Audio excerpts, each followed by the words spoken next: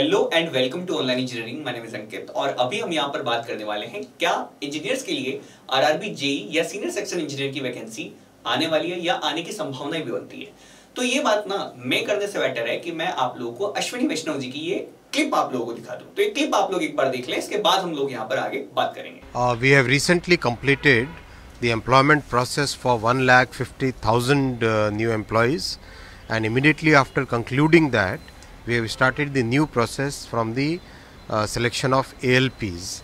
Uh, this is uh, this is the first step. There will be more more employment opportunities in technical and non-technical popular categories and also in Group D.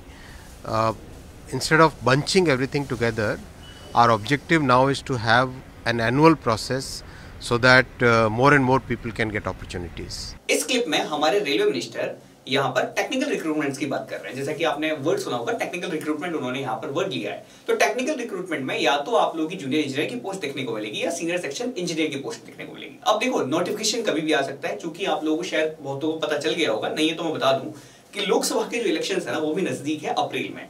और ऐसा generally हमें देखा गया है कि election से पहले तो पोस्ट आती ही आती है, चाहे किसी भी एग्ज़ाम की हो। तो अब यहाँ पर बात करते हैं कि, सर, ऐसे में हमें क्या करना चाहिए? क्या हमें तैयारी चालू कर देनी चाहिए? तो बिल्कुल हाँ। देखो, वैसे कंपटीशन मार्केट में बहुत ज़्यादा है। वैकेंसीज कितनी आएगी, ये अभी तक डिसाइड नहीं हुआ है, लेकिन वैकेंसी आएगी, ऐसा वो कह रहे हैं। अब देखो, उनकी बात तो माननी पड़ेगी क्योंकि डिसाइड तो वही लोग करने वाले तो अब हम यहाँ पर, मैं आप लोगों के साथ जो शेयर करने वाला हूँ ये शेयर करता हूँ कि कौन कौन सी बुक्स या हमें किस तरह से यहाँ पर पढ़ाई करनी चाहिए, है ना? तो मैं वो बात आप लोगों के सामने यहाँ पर शेयर कर देता हूँ। तो कुल मिला के आप लोगों को जो आरआरबी जेई मैं यहाँ पर आप लोगों को जेई के बारे में बात कर रहा हूँ। सीनियर सेक्शन इंजीनियर भी इसी के अंदर इंक्लूडेड है, क्योंकि देखो सीनियर सेक्शन इंजीनियर की ना पोस्ट लगभग कैंसिल कर दी थी। अब तक हमें वैकेंसी नहीं देखने को मिली है। जो लास्ट के आपको आठ दस सालों के अंदर कोई वैकेंसी नहीं है सीनियर सेक्शन की। तो अब यहाँ पर जिसका जो सिलेबस है ना, देखो इसका सिलेबस पॉइंट ऑफ़ व्यू है सिलेबस का मतलब है, सीधी सी बात है, जो जेई के अंदर जो पार्ट रहेगा सेम मामला आप लोगों को सीनियर सेक्शन इंजीनियर में देखने को मिलेगा। सिविल इंजीनियरिंग तो सेम ही रहती। बस क्या होगा लेवल ऑफ़ क्वेश्चन थोड़ा सा टफ हो सकता है।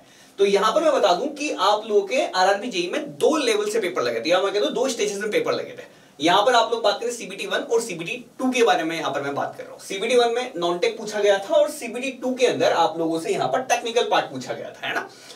अब यहाँ पर मैं बात कर लेता हूँ। आप लोगों को ये नहीं देखना, देखो नोटिफिकेशन में बहुत कुछ चेंज होके आएगा। हो सकता है नेगेटिव मार्किंग चेंज कर दे, हो सकता है आप लोगों इस तरह से सब चेंज कर दे कि भाई अब जो है हम दो में नहीं लेंगे, एक स्टेज में एग्ज़ाम लेंगे। सीनियर सेक्शन का अलग तरह से हो सकता है आरआरबी का अलग तरह से हो सकता है। लेकिन फिर भी पुराने वाले को ही मैं यहाँ पर बेस मानते हुए आगे बढ़ने की कोशिश करता हूँ कि देखो तो कुल मिला के नहीं नहीं करते हुए भी तो हमें mathematics general science reasoning general awareness इसके साथ साथ हमें सिविल इंजीनियरिंग तो पढ़नी पड़नी है। ठीक है, इसके अलावा छोटे मोटे सब्जेक्ट रह जाएँगे कंप्यूटर एप्लीकेशन वगैरह, वो हम लोग नोटिफिकेशन के बाद भी बात कर सकते हैं इसके बारे में। लेकिन जो मेजर मेजर सब्जेक्ट्स है, उनका तो मैं यहाँ पर आप लोगों को यहाँ पर एक अंदाज़ा दे देता हूँ कि तैयारी आप लोग किस तरह से चालू करनी है। सबसे पहले बात कर लें कि सर देखो, बहुत सारे लोगों ने कोचिंग्स ऑलरेडी ज्वाइन कर रखी होगी, कहीं ना कहीं पहले कुछ ना कुछ पढ़ रखा होगा। या बहुत से ऐसे लोग होते हैं जिन्होंने किताबों से पढ़ने में मज़ा आता है तो मैं यहाँ पर अच्छी अच्छी बुक्स आप लोगों के लिए यहाँ पर सजेस्ट करने वाला हूँ। तो एक एक काम करते हैं, सबसे पहले बात करते हैं हम लोग जनरल साइंस की। ठीक है? जनरल साइंस के लिए तीन बुक सबसे अच्छी है एस एस वाले भी बिल्कुल इसके थ्रू जा सकते हैं और आर आर जेई वाले भी यहाँ पर जा सकते हैं। एक आ जाती है, आप लोग यहाँ पर देखो, दिशा पब्लिकेशन की, अरिहंत की लूसेंट की, ठीक है? इसके अलावा मैं आप लोगों को बता दूँ स्पीडी की भी आती है, और बाकी जो लोकल होते हैं ना हमारे, जैसे कि हर स्टेट के अलग अलग लोकल जनरल साइंसेस की बुक रहती है। उनको भी आप लोग ले सकते हैं।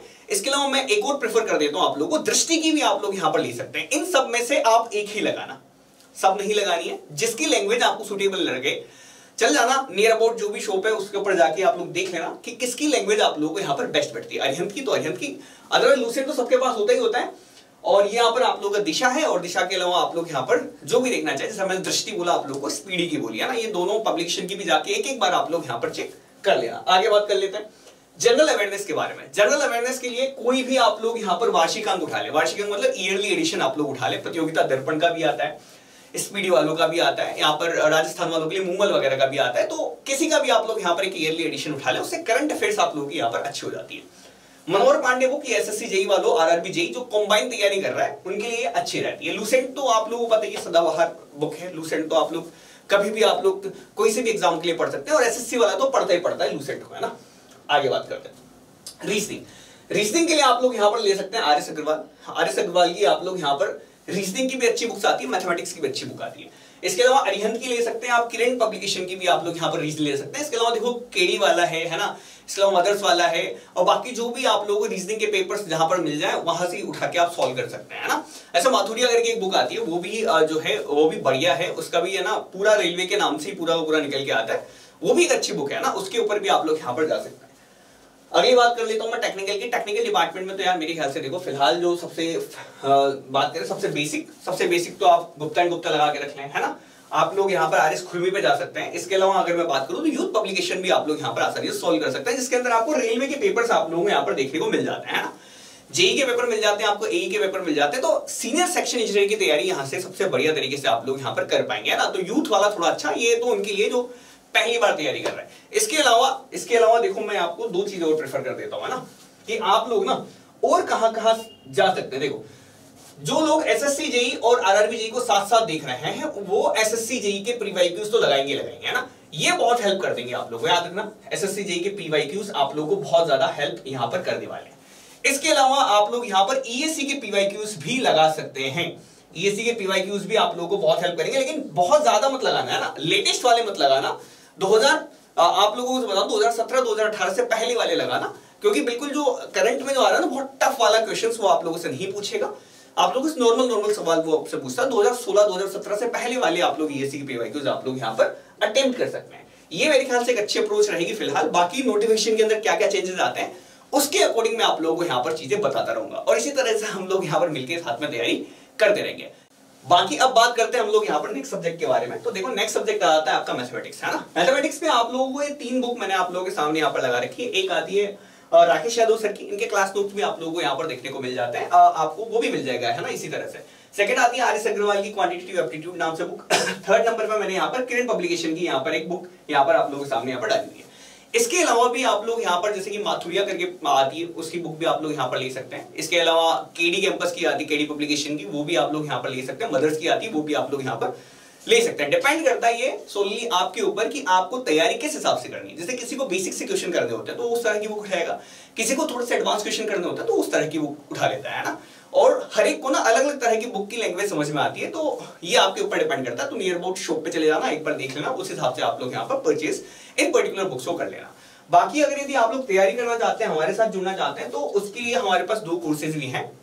अगर आपको ऑनलाइन कोचिंग करनी है तो आप लोग यहाँ पर हमारे इन दो कोर्सेज को भी देख सकते हैं, जिसमें महापेक के महापेक में सब कुछ ही आता है। ईएससी गेट एजी इन तीनों के आप लोगों को देखने को मिल जाएगा। प्राइस बिल्कुल रीजनेबल है। स्टेट एजेई है। नाम स्टेट एजेई है इसका ना। ये एस एस सी जेई और आरआरबी जेई का बेच भी हमें यहाँ पर, हमारे पास आप लोगों को यहाँ पर मिल जाएगा।